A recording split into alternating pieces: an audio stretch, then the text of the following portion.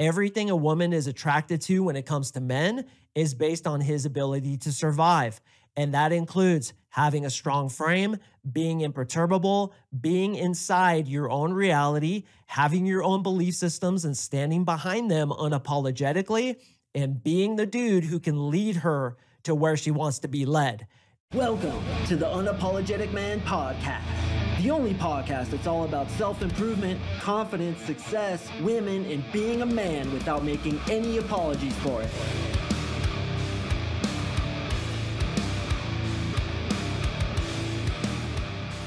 What is up, gentlemen? Thank you for tuning in to another episode of the UMP. I really do appreciate you. And today, we are going to talk about why you should argue and debate with women. This comes from the all important concept of frame control. If you don't know what frame control is, I'm going to lay it down for you today, and then we're going to get into why you should use frame control to basically be disagreeable, both with women as well as with people in your life. Now, there's a lot of subtleties to this.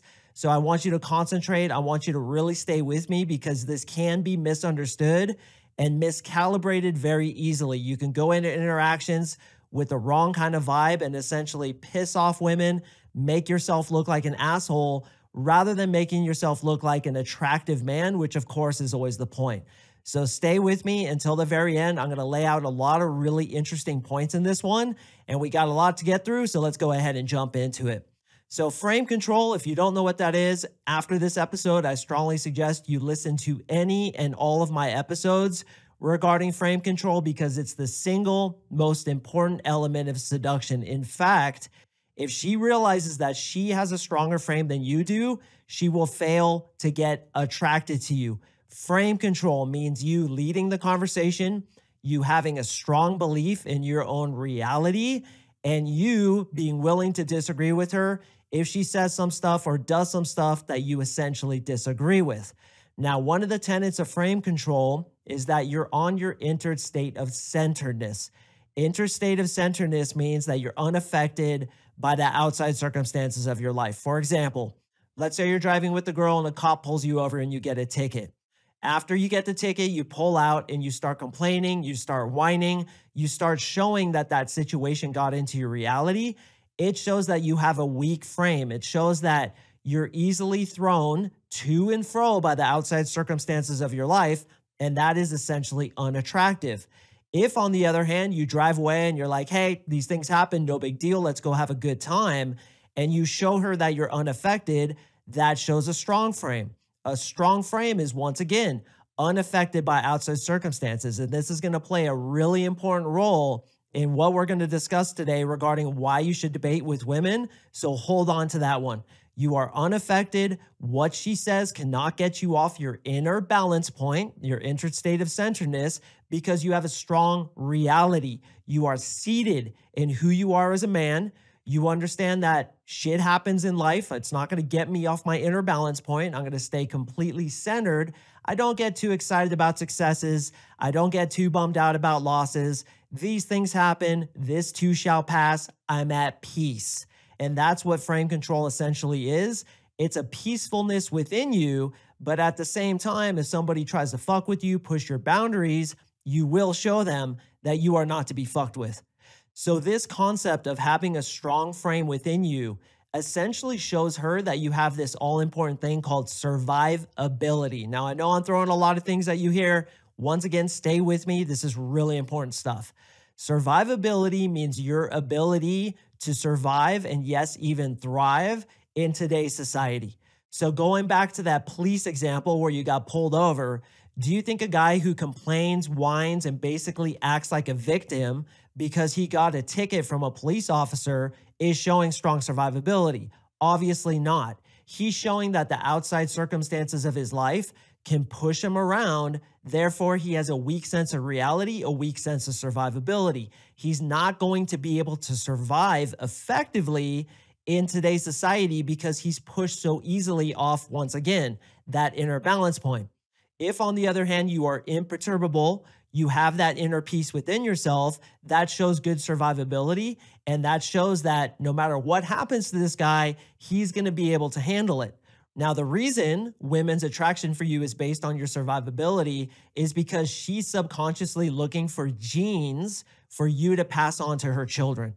So, if you have a strong survivability, it means that her children are going to have a stronger survivability and thus have a better chance of surviving. The most interesting thing about attraction is that it's always based on the children. You're attracted to her for health signs. How hot is she? How sexy is she? Did you know that that's basically her ability to have a healthy baby? That's all it's based on. Why are we attracted to nice tits? Because nice tits hold milk and they'll be able to feed that baby milk to give it a better chance of survival. Why are we attracted to plump, firm, nice asses? It's because, and this is really interesting, the fat within the butt, and I literally just learned this, has something within it, a chemical within it that basically helps the development of the brain of the fetus. So you're attracted to big fat asses where you hit the right butt cheek and a wave goes across, slaps off the left butt cheek, and then you grab your surfboard and ride that thing back to the right butt cheek simply because it's going to give that baby the better chance of having a healthy brain. Isn't that insane? Everything you're attracted to to a woman is based off health signs to have a healthy baby. Everything a woman is attracted to when it comes to men is based on his ability to survive. And that includes having a strong frame, being imperturbable, being inside your own reality, having your own belief systems and standing behind them unapologetically, and being the dude who can lead her to where she wants to be led. Now we get into why you should debate and argue with women. So, first and foremost, argue isn't really the right word. I'm going to admit to you, I kind of put it in there as clickbait because it makes it a little more controversial, a little more interesting, and I wanted you guys to click in. But argue isn't exactly right. I mean, we could say argue, but really it's debate, it's being disagreeable. Arguing, in my opinion, implies negativity. And as I just said, a man who's on his inner state of centeredness isn't negative. He's imperturbable, right? He's at peace. So even if somebody quote unquote pisses him off, he's always very calm. He's within that state of masculinity. Do you think masculinity gets butthurt, gets triggered, gets angry, and starts crying like a little bitch? Of course not. Masculinity is always on its inner balance point, always like, hey, I'll deal with this, solution oriented. You can't get into my frame, bro. You can't even affect me. That's essentially what frame control is. So arguing isn't really right. Debating, on the other hand, is absolutely right.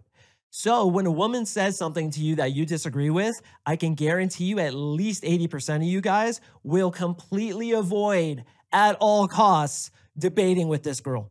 The reason you do that is because you don't want to break rapport. You don't want to make her mad at you. You don't want to put a negative, quote unquote, vibe into the interaction. At first blush, this is a smart thing to do because you want to keep the interaction positive. You want to keep her having good feelings. So logically, you think, nah, I don't want to disagree with her on the fact that she thinks baseball is stupid and I think baseball is a great fucking game. Even though she just said, oh my God, baseball's so stupid, I'm not going to disagree with her on that point because I don't want to put negative energy into this interaction. Logically, you think that's a good idea, but I'm here to tell you as a dating coach, you should disagree with her.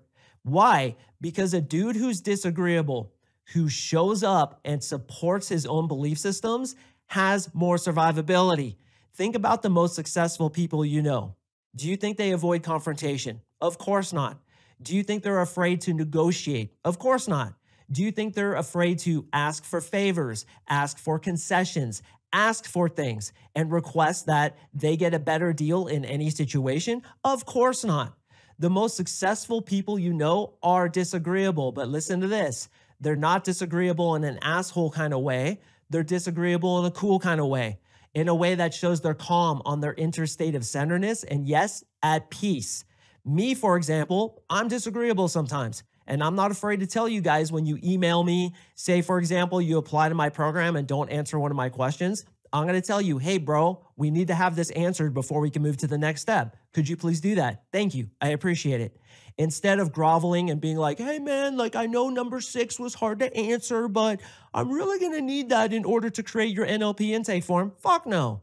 And on that point, if guys don't show up to coaching calls, if they're not doing their approaches, if they're not doing their NLP, which by the way, I watch very closely when you're my client, I watch you like a hawk, I'm going to tell you about it. And I'm going to say, hey, bro, you're slipping. You're letting this opportunity go away. Get back on track. And what happens? They get back on track and they get success. So, you as that alpha, that unapologetic man, that dude who's attractive, you cannot be afraid to debate with women. Now, a few caveats on this. First of all, as I keep saying, you have to be imperturbable. If you let any negativity whatsoever come into that interaction, she's gonna walk away. You're gonna lose attraction. Why? Once again, a dude who lets negativity come in shows that his frame is being affected. He's getting off that interstate of centeredness and she's getting to him. She's affecting his frame, which communicates he has a weak frame, a weak sense of reality. So you cannot, under any circumstance, get butthurt, get negative, have some like aggression behind your argument. No, no, no, no. You have to stay completely calm, centered, deliver your argument very logically, very emotionless, or better yet, delivering it with humor, with a light heart, with a smile on your face. So, for example, she's like, Oh my God, the Dodgers suck. I hate those guys so much. They're going to beat the Yankees in the World Series. Now, I'm recording this on Tuesday afternoon, and game four is on Tuesday evening. So I don't know who's going to win, but it's pretty likely the Dodgers are going to win based off them winning the first three games. So we're going to go with this example. She's like, I hate the Dodgers. They fucking suck. The Yankees are so much better. Instead of being like, dude, what are you talking about? Like, the Dodgers won the first three games. They're so much better. You laugh and you're like, oh, I see you're a little upset because the Dodgers are just spanking those Yankees. They're just kicking their ass, huh? Ohtani, best player ever Thank God we have him on our team. So what you're doing is you're showing, hey, I disagree with you. I'm going to bust your chops a little bit. I'm going to be lighthearted. I'm going to smile and I'm going to bring it to you, disagreeing with what you just said. And this is really good to do, gentlemen, with women who have an opinion about something that's really subjective. And when I say subjective, it means do you like this kind of music? Do you like this kind of TV show? What do you think of this politician? What do you think of this baseball team, this football team, this college, this country, this kind of lifestyle, this kind of diet? If it's really subjective and just kind of opinion based, those are the best times to disagree with her to show her, hey, I disagree with what you're saying. Many times I'll be in conversations with girls and they'll throw out some negativity. They'll be like, oh, my mom's a bitch. My boss is an asshole. I hate this club. That girl over there is so ugly. They'll throw negativity out. And this happens all the time. Usually with younger women, because let's be honest, younger women really haven't evolved in their consciousness. So they're still stuck in ego. They're still stuck in negativity. They throw out some negative shit. They complain, they whine, they play victim, and I disagree with them. Immediately, I put the kibosh on that shit. I question it. I say, why'd you just say that? And she's like, what? I'll be like, why'd you just call that chick fat? Like, why would you say that? And she's like, well, look at her, you know, nah, nah, nah, nah, nah. plus she's a bitch. And I'll be like, you do understand that when you insult somebody like that, it's actually kind of communicating to me that you feel insecure about something within yourself. You do understand that, right? And I don't don't get mad. Don't get mad. I'm just having a discussion. I'm just kind of pointing it out to you. Do you see how that possibly is? That what you attack in another, you actually kind of hate in yourself. So look at that with honesty, right? What is it that you hate about yourself? And then you realize that and you can take steps to improve it. So, gentlemen, that's an example of me disagreeing with her being negative about some other girl, pointing out to her the truth, which is when you attack another, and by the way, boys, this also happens if you attack me. I know everything I need to know about you. If you send me hate mail or try to be an asshole on my Instagram, it shows me everything I need to know because it shows me what you feel about yourself. So I'll point that out to girls, arguing with them, quote unquote, more like debating with them about how they're living their life. And then I'll mentor them. Mentoring is a concept I teach in my coaching where you take the girl under your wing and show her a better way to live. Because that's why we're all here. We all know it. We're all trying to develop. That's why you're listening to this podcast. You're trying to get to the next best version of yourself. So when you help a woman do that, she's going to get more attracted to you.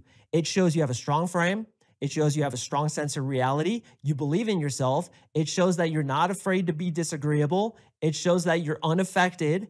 And it shows that your way of living, she can actually benefit from. Furthermore, gentlemen, it shows you're not afraid for the conversation to go bad, which is so extremely attractive. If you show a girl, I don't care what you think, I'm willing for this to go bad, I'm willing to essentially piss you off because I'm so seated in who I am, so seated in my reality, and I have so many girls that I'm already seeing. I don't care if this goes bad. So, you being negative against that girl over there, I'm gonna call you out and I'm gonna do it in a calm way. I'm even gonna bust your chops a little bit. Then I'm gonna lead that into mentoring you, showing you a better way to live. And as I alluded to earlier, gentlemen, you should also do this with opinion based stuff.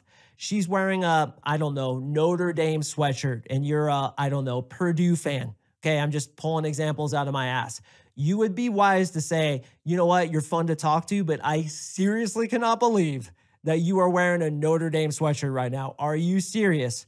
And she's like, why? Do you like hate Notre Dame? And be like, Purdue. Purdue is so much better than Notre Dame. They won this game, they won that game. Their quarterback's better, their wide receiver, Deontay Von Deontay, so much better than anything Notre Dame has. And you're kind of doing it with a smile, you're kind of busting your chops, and you're showing her that you're willing to be disagreeable. So attractive. And this again is most readily used with things that are opinion based or behavior based. Like if she's complaining about her mom, I'll call that shit out. She's complaining about her boss, I'll let her know about the law of attraction, how what you focus on expands, and always in a way where I'm not getting emotional. Now, I always avoid politics, religion, anything that can really go down the sinkhole of argument because people are really ensconced in those kinds of belief systems. I meet a lot of Christian chicks. This is the United States. 60% of Americans are Christian. I'm not. I believe in probably 90% of what they preach, but I believe that Jesus was essentially an enlightened master and his teachings have been slightly misinterpreted, but the majority of it I agree with. Now she brings up, oh my God, that girl's going to hell. I'm not going to be like, yo, hell doesn't exist. That's completely wrong, dude. Do you seriously believe that still? Oh my God, what an idiot.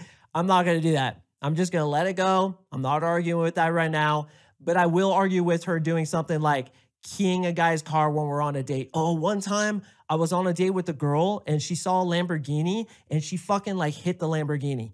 And at that point, I said, dude, why'd you do that? Why, why would you have done that? This guy probably worked really hard for this. You don't know his situation. He could have saved up for five years for that thing. Why'd you do that? She's like, oh, I hate rich people. That kind of shit I will argue with, but it's always the right place, the right time, being at peace, disagreeing with women.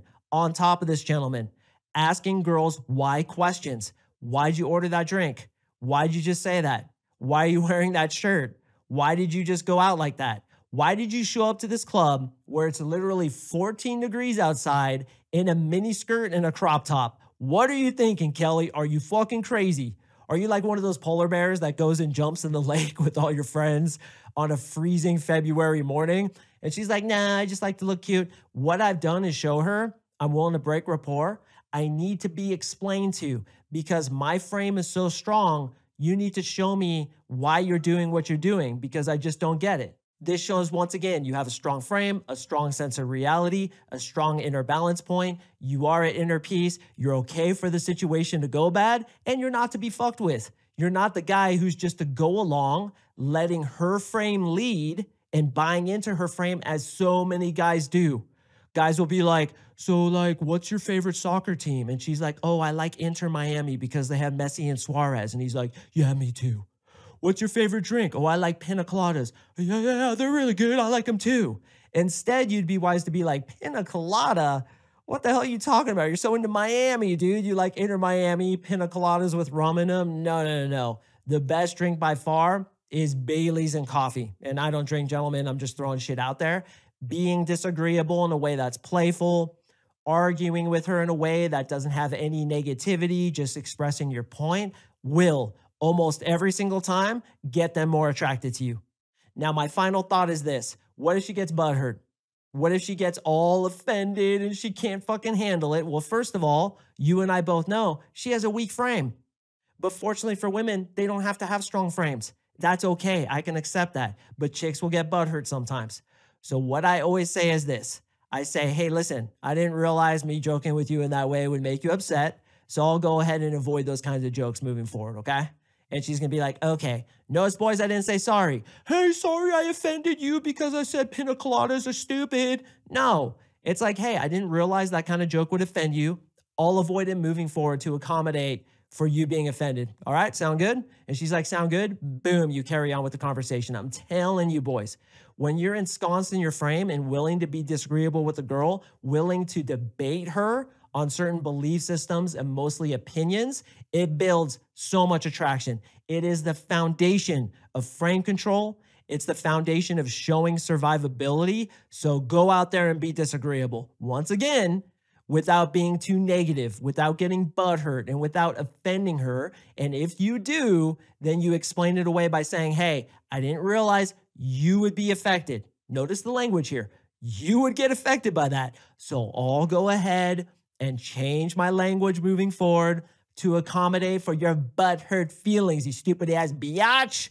You never say that, obviously, but kind of in your head, you're like, really, bro? You're getting triggered by that. And that's why, gentlemen, when people get triggered, I automatically know they have a weak sense of reality. Anything anybody says that offends you shows weakness if it offends you. So have a stronger frame, be imperturbable. You can't say anything to me I haven't heard already or that would affect me because I'm masculine, I'm internally validated, and you need to be that way too. Be disagreeable with women and see them get more attracted to you. Gentlemen, I appreciate you listening. I have a spectacular one coming up on Monday, so please stay tuned for that one, and I will see you in the next episode.